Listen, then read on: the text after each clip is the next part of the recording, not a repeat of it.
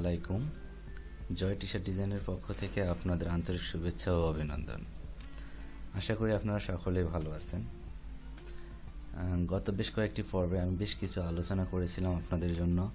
যারা নতুন তাদের জন্য আশা করি হেল্পফুল হয়েছে। আর যারা জানেন তারা তো অবশ্যই যারা জানেন না, যারা নতুন করে শিখতেছেন, তাদের জন্য আশা করি সেই ভিডিওগুলো অবশ্যই অনেক উপকারে আসবে আপনাদের। আজ আবারও সেই প্রক্রিয়া কিছু কাজ শিখব এবং কিছু টুলস নিয়েও আমরা আলোচনা করব। আপনারা জানেন, আমি একটার পর একটা খুব সিস্টেমে মানে একটার পর একটা কাজ দেখাচ্ছি এবং কিছু টুলস নিয়ে আলোচনা করতেছি এবং এর সঙ্গে সঙ্গে আপনারা ছোটোখাটো কিছু ডিজাইনও শিখতেছেন, ঠিক আছে? তো যদি কেউ আমার পেছনের ভিডিওগুলো না দেখে থাকেন, তাহলে দয়া করে প্রতিটা ভিডিও শুরু থেকে পার্ট বাই পার্ট এক নম্বর দু নম্বর এভাবে পার্ট বাই পার্ট প্রতিটা ভিডিও দেখে নেবেন। আশা করি আপনাদের উপকারে আসবে। আর একটা কথা, যদি আপনারা আমার চ্যানেলে নতুন হয়ে থাকেন, তাহলে অবশ্যই লাইক দেবেন কমেন্ট করবেন এবং সাবস্ক্রাইব করে বন্ধুদের মাঝে শেয়ার করতে ভুলবেন না। আর যদি এর মধ্যে আপনারা আমার এই চ্যানেলটি সাবস্ক্রাইব করে থাকেন তাহলে আমার পক্ষ থেকে আপনাদের অভিনন্দন তো চলুন আজকের আয়োজনে Young ones, young ones, but we live for it, we die for it, we live for forever. Young ones, young ones, but we live for it, we live for it, we live তো বন্ধুরা আমরা গত পর্বে clipping mask multiple masking এবং hand tool নিয়ে বেশ বিশদ আলোচনা করেছিলাম, ঠিক আছে? তো আপনারা যারা পেছনের ভিডিওগুলো দেখেননি আশা করি আপনারা পেছনের ভিডিওগুলো দেখে নেবেন ওকে আজ আমরা যে বিষয়গুলো নিয়ে আলোচনা করব আপনারা কিন্তু চাইলে পেছনে যে সমস্ত ভিডিও আছে, সবগুলো একের পর এক সুন্দর করে দেখে নিতে পারেন এবং সেগুলো দেখলে আশা করি আপনারা যে প্রাথমিক ধারণাগুলো এবং ডিজাইন শুরু করতে যে যে বিষয়গুলো লাগে, সেগুলো অবশ্যই শিখতে পারবেন, ঠিক আছে? তো আজকে আমি দুটো টুল নিয়ে আলোচনা করব, সেটা হচ্ছে ডিলেট অ্যাঙ্কর পয়েন্ট টুল এবং কাস্টম ব্রাশ নিয়ে আলোচনা করব। এবং এটার পাশাপাশি আমরা ছোট দুটো ডিজাইনও শিখব, যে ডিজাইনটা আপনারা এখন আমার ডিসপ্লেতে দেখতেছেন। আশা করি এই যে যে বিষয়গুলো আছে, আর ওই পেছনে যে পাঁচটা ছটা ভিডিও আছে, সেই ভিডিওগুলো যদি আপনারা পুঙ্খানুপুঙ্খানুরূপে সুন্দর করে দেখেন এবং প্র্যাকটিস করেন তাহলে আমি আশাবাদী যে আপনারা অনেক কিছু শিখে যাবেন এবং সেগুলো প্র্যাকটিস করে নতুন নতুন ডিজাইনের আইডিয়া নেবেন, নতুন নতুন ডিজাইন কীভাবে করা যায় সেগুলো প্র্যাকটিস করবেন।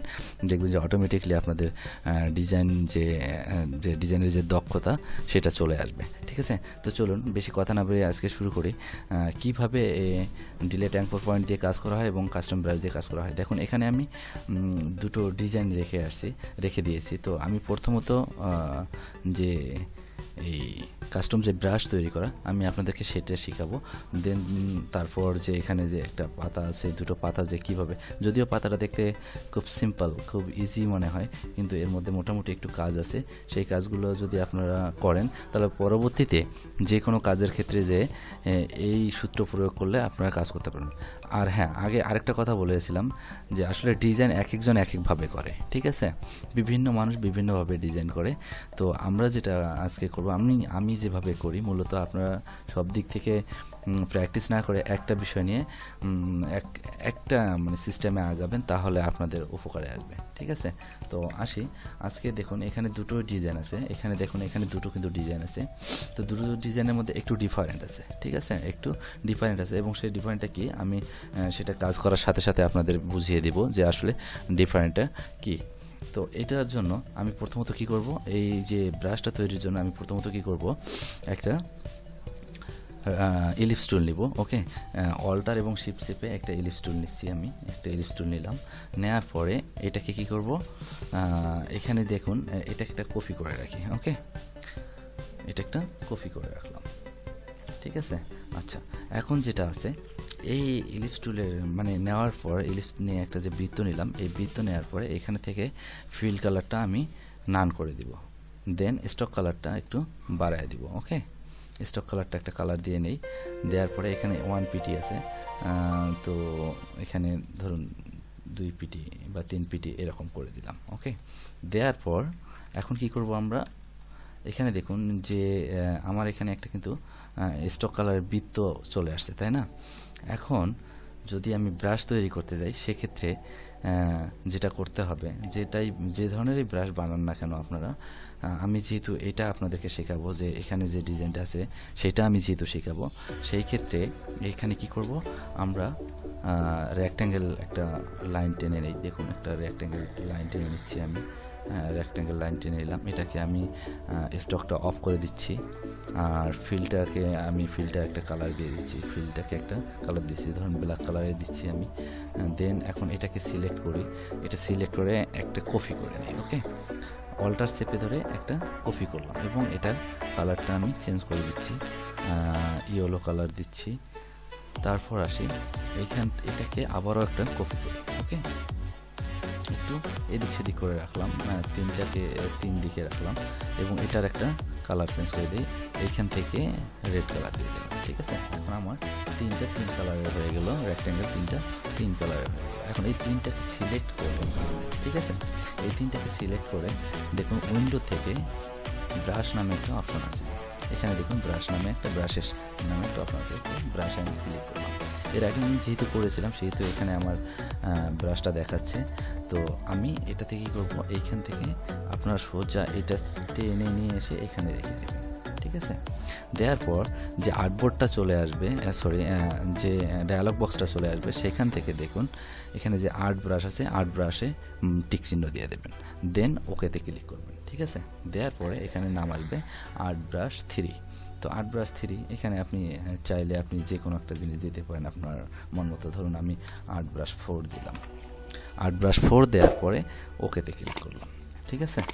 এখন আমার কিন্তু এখানে দেখুন আমার ব্রাশের ঘরে, এখানে আমার যে ব্রাশের যে আগে তো এই তিনটা ছিল এটা হচ্ছে আমার কয় নম্বর? এক নম্বর ব্রাশ, যাকে আমি এটা ডিলিট করে দিচ্ছি। থাক, এখানে সমস্যা নেই, যা আছে, যে অবস্থায় আছে থাক। এই যে এটা, যেটা আমরা এখন বানালাম, সেটা হচ্ছে এই ব্রাশটা, ঠিক আছে? ওই ব্রাশ চার। এখন আমি সবগুলোকে ডিলিট করে দিই। আমি এখান থেকে সবগুলো ডিলিট করে দিই। এখন দেখুন, যার সঙ্গে আপনি ব্রাশটাকে প্রয়োগ করবেন মানে যার উপরে অ্যাপ্লাই করবেন, সেটাকে সিলেক্ট করবেন। এখন আমরা যেহেতু বৃত্তর সাথে আমরা এই ব্রাশটাকে ইয়ে করব অ্যাপ্লাই করব সো আমি এটাকে সিলেক্ট করে, এটাকে সিলেক্ট থাকা অবস্থায় এখানে যে চার নম্বর আমি যে ব্রাশটা তৈরি করলাম, সেই ব্রাশটাতে ক্লিক করব। দেখুন আমার খুব সুন্দর করে কিন্তু ব্রাশটার চারিদিকে মানে একটা বৃত্তকার যে গোলাকার একটা ইয়া ব্রাশটা আমার অ্যাপ্লাই হয়ে গেছে, ঠিক আছে? খুব সুন্দর একটা ডিজাইন তৈরি হয়ে গেছে। এখন এটাতে আমি কী করব? ক্লিপিং মার্কস তো আমরা গত পর্বেই দেখেছি। আর ক্লিপিং মার্কসের জন্য আমি এই পিকচারটা দিয়ে যেহেতু এখানে দেখিয়েছি, আর সেই পিকচারটা দিয়েই আপনাদেরকে দেখেছি। এখান থেকে আমি কী করব? এটাকে ফিল্ড কালার অফ করে দিয়ে শুধু স্টকটা রাখলাম। এই স্টকটাকে আমি নিয়ে গিয়ে স্টকটা এর উপরে রাখব ওকে স্টকটা এখানে বসিয়ে নিলাম। এখানে স্টকটা বসিয়ে নেওয়ার পর এখান থেকে এটা সুন্দরভাবে বসিয়ে নেই। আচ্ছা বসিয়ে নিলাম। বসিয়ে নিয়ে এখান থেকে দুটোকে আমি সিলেক্ট করব। দুটোকে সিলেক্ট করে রাইট বাটন মাউসের রাইট বাটন ক্লিক করে মেক ক্লিপিং মার্কস ওকে আমার কিন্তু ক্লিপিং মার্কস হয়ে গেল। এখন আমি এসে এখানে কি করব? এখান থেকে দেখুন, এটাকে নিয়ে এসে এটাকে নিয়ে এসে ছোট করলাম। যতটুকু দরকার এখান থেকে মাঝে বসিয়ে দিলাম, ঠিক আছে?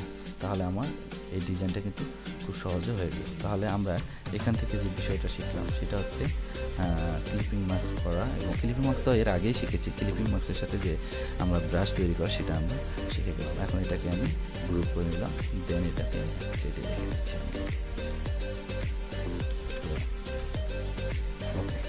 এখন আসি আমরা এখান থেকে আমাদের এই ডিজাইনটা যেহেতু করা কমপ্লিট এই ডিজাইনটা শেষ শেষ। তো বন্ধুরা আমি চাইলে দুটো ভিডিও একসঙ্গেই আপনাদেরকে দিতে পারতাম, ঠিক আছে? তো আসলে আমাদের ধৈর্য কম, ঠিক আছে? আমরা অনেক সময় ভিডিও স্কিপ করে যাই, আমরা দেখি না। আর আমি সেজন্যই চাচ্ছি যে আপনাদেরকে এই যে যে পাতা বানানো যেটা আছে, এখানে যে পাতা বানিয়েছিলাম আপনাদেরকে দেখানোর জন্য আজকে তো আমরা এখানে কীভাবে কাস্টম ব্রাশ তৈরি করা লাগে সেটা আমরা দেখলাম। তো এখন যদি আমি এই যে যে পাতা বানানোটা, এটাও যদি আমি আজকে এই ভিডিওতেই যদি আপনাদেরকে দিই, তাহলে হয়তো বা আপনারা অনেকে স্কিপ করে করে দেখে যাবেন, তাতে মানে কোনো লাভ হবে না। সেজন্যই আপনারা আমি চাচ্ছি যে আপনাদেরকে এই যে পাতা বানানো যেটা আছে, সেটা আমি নেক্সট ভিডিওতে আপনাদেরকে উপস্থাপন করব। নেক্সট ভিডিওতে দেখাবো কীভাবে এই পাতাটা বানানো যায়। ঠিক আছে? তো আশা করি আপনারা পরবর্তী ভিডিও দেখার জন্য অপেক্ষায় থাকবেন এবং অপেক্ষা করবেন যে কীভাবে আমরা পাতা বানাতে পারি। আর এই পাতা বানানোটাতে অনেক বেশ বিষয়, কিছু বিষয় আছে, সেগুলো নিয়ে আমরা আলোচনা করব। যদি দুটো ভিডিও একসাথে করি, তাহলে মোটামুটি বিশ পঁচিশ মিনিটের একটা ভিডিও হয়ে যাচ্ছে। তো আমি চাচ্ছি না আসলে ভিডিওটা এত বড় করতে। সেই জন্য আজ এ পর্যন্তই। আজকে শুধুমাত্র এই কাস্টম ব্রাশ পর্যন্তই থাকল। আগামী পর্বে, আগামী যে সাত নাম্বার যে ভিডিওটা আসবে, সেটাতে আমি কীভাবে এই পাতাটা বানাতে পারি, আমরা কীভাবে এই পাতার ডিজাইনটা করতে পারি সেটা দেখিয়ে দিব। তো আশা করি আপনারা সকলে ভালো থাকবেন। আর আমার জন্য দোয়া করবেন, আপনারাও সুস্থভাবে থাকবেন, আপনারা সুস্থ শরীরে চলেন। এই কামনায় আজকে নিচ্ছি।